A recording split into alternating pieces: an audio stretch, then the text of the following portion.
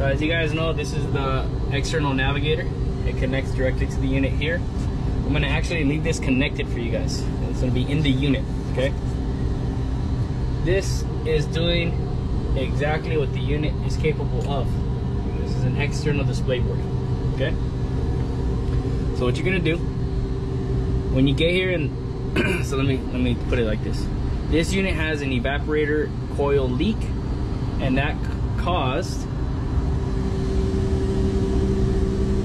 second stage to not work at all. So because there's an alarm on the system, we only got first stage working. Compressor A1 and A2. And remember compressor A1 and A2. What you're gonna do if the system, if the area is too hot, you're gonna come here and you're gonna put the unit on test. Uh, the unit's gonna be running, but it's only gonna be running on compressor A1. Compressor A2 will not shut on because there's an alarm on the system.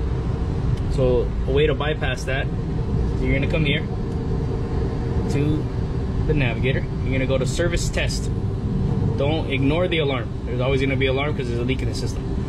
System test, click on system test. If there's a password, it's just gonna be 1111, okay? You're gonna push enter, enter, enter, enter.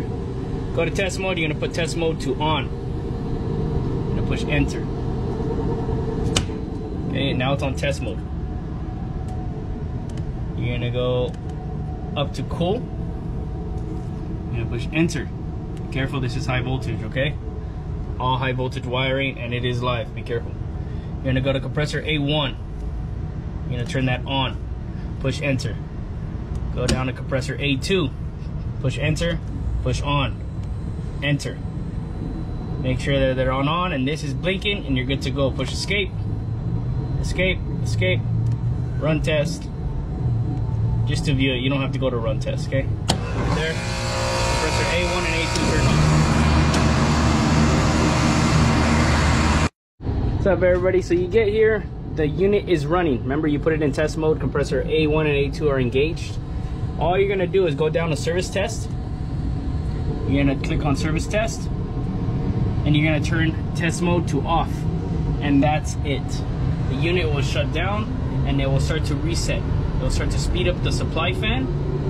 And by speeding up the supply fan, sooner or later compressor A1 will turn on and that's all that will run on this unit because of the issues that are you know, with the unit. And Bob is aware, Bob is working on it. He's gonna order me a new evaporator coil and get all the repairs done. If you guys have any questions, call me if I'm available.